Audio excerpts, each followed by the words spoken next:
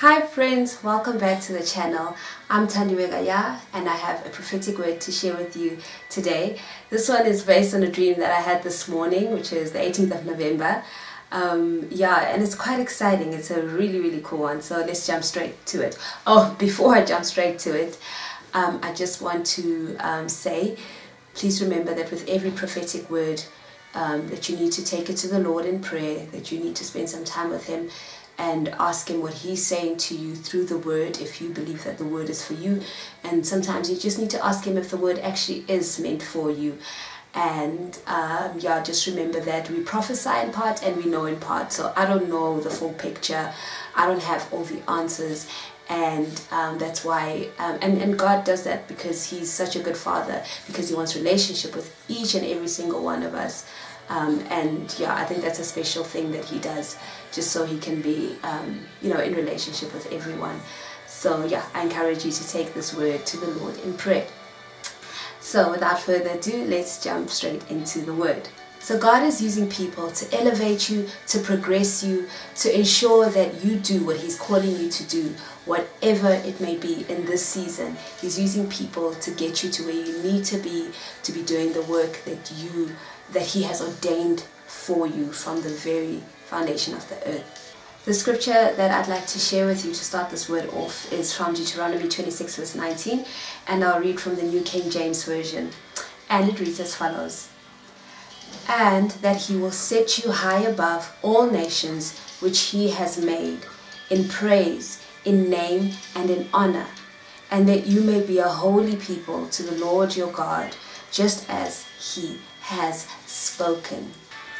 So God has in this dream pointed out two scenarios in which he will be um, recruiting people, using people to get you where he needs you to be.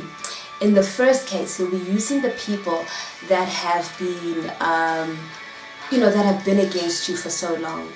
The people who have tried to hold you back in life um, and also people who have pitied you and laughed behind your back when you were going through a tough time, when you were going through that wilderness experience, when you were in the fire, when you were just in that place in your life where everything just seems to be seemed to be falling apart and that it seemed that your life was over.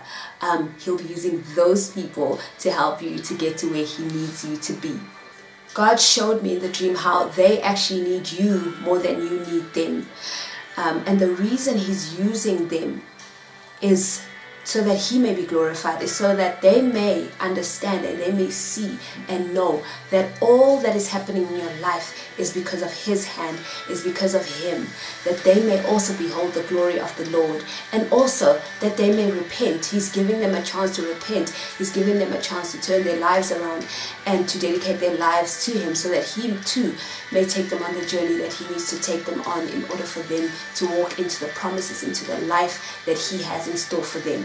So God will use those people to help you and to help them. So it's not just so that um, you can gloat and be like, huh, you were laughing or whatever. It's because God has a plan for everyone and He's helping you and He's helping them through them helping you, which is so beautiful.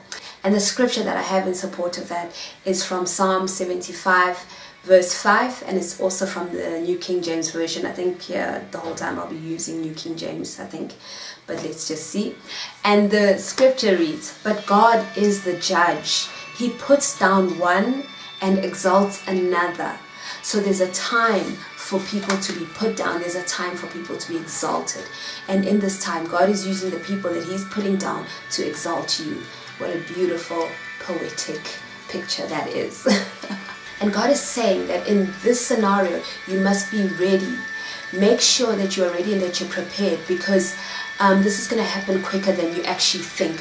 While you still tracking the progress and trying to um, and, and, and thinking actually that this is actually going to take a while from your point of view before you know it there it is at your doorstep. Doorstep. At your doorstep and it's time for you to get going. And you don't want to be caught unawares. Um, and even if you are caught unawares God is so graceful and so good he'll help you to get ready but God is saying just be aware of that don't be too caught up in looking at the circumstances and saying well this is obviously going to take a while because look what's happening.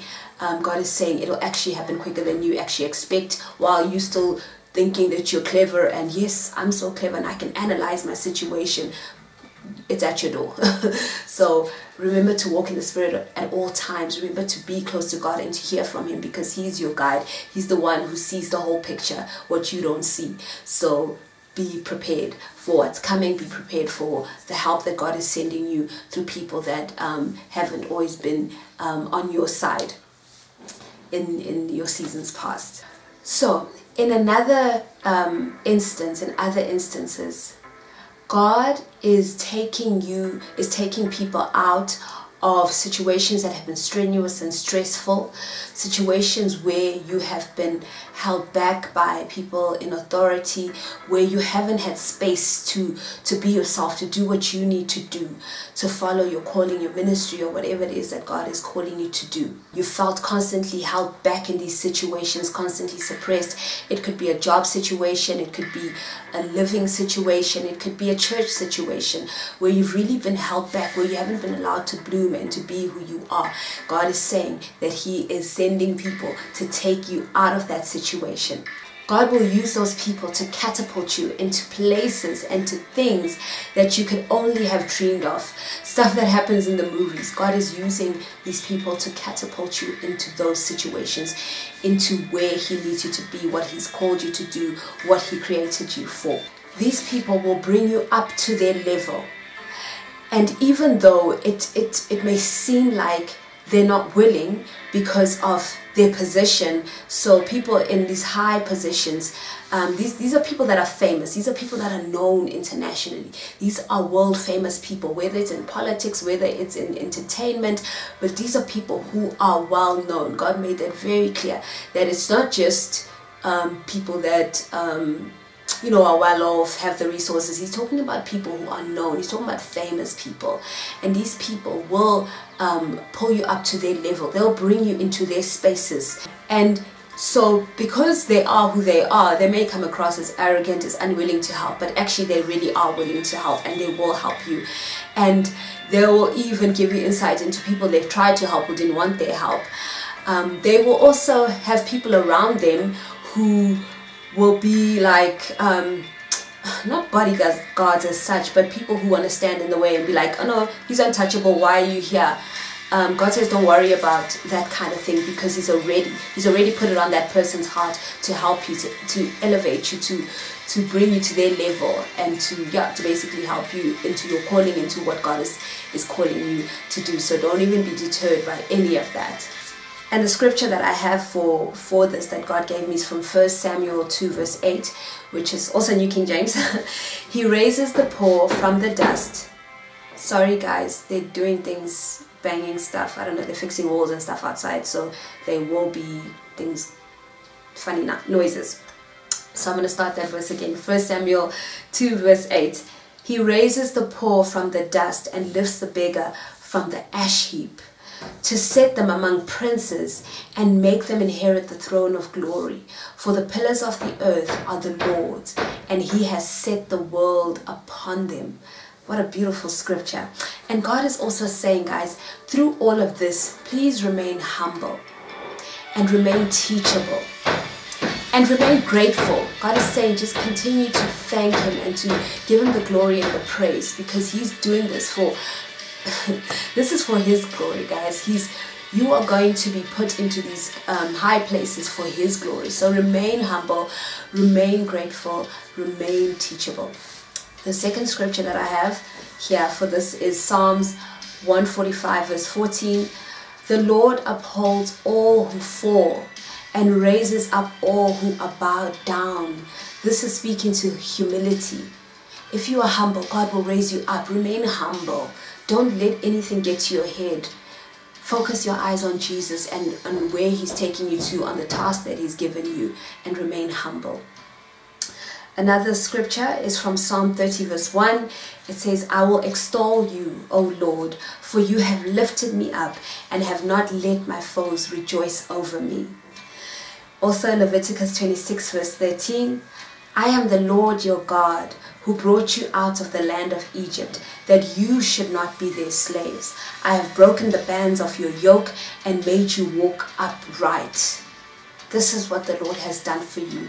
And now you are going into a space where you are going to be influential on a larger platform than you've ever been on, than you've ever imagined that you'd ever be on.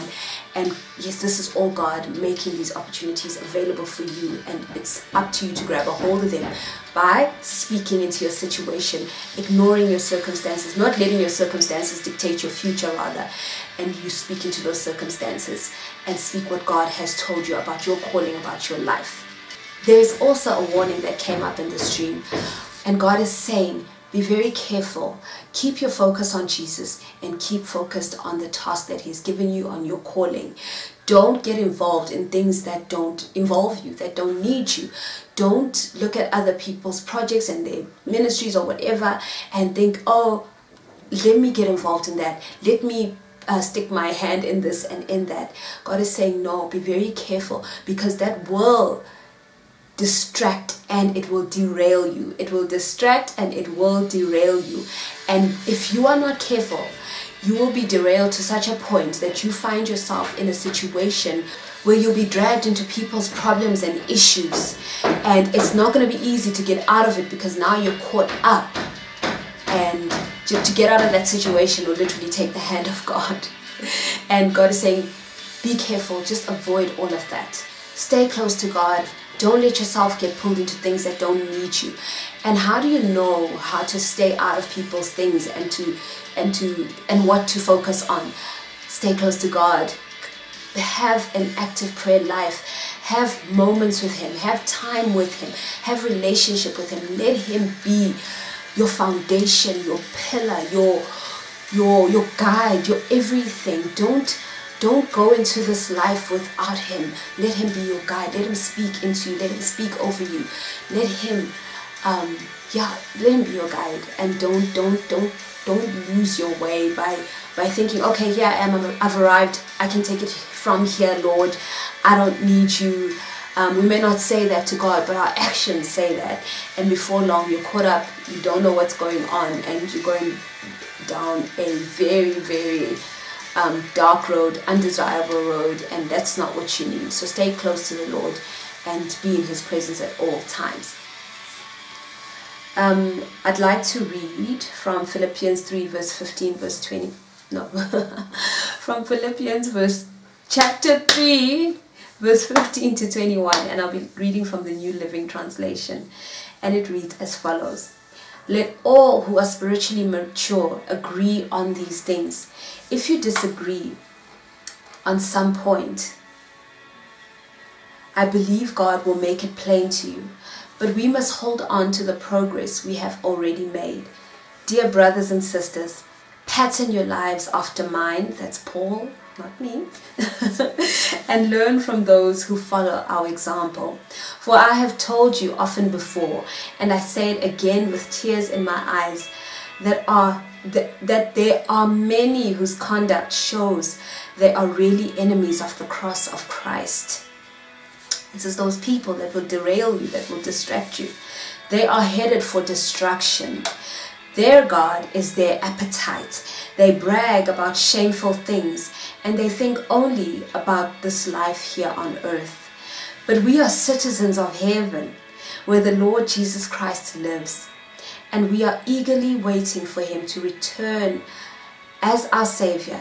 He will take our weak mortal bodies and change them into glorious bodies like his own, using the same power with which he will bring everything under his control.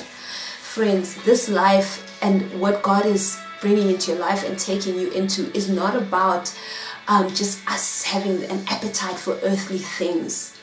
It's about our heavenly citizenship. We are here to glorify the Lord. And God loves us so much that in Him being glorified, we too get to share in that glory and to live a good life, an abundant life. But God is saying your focus must be on heaven, it must be on Him.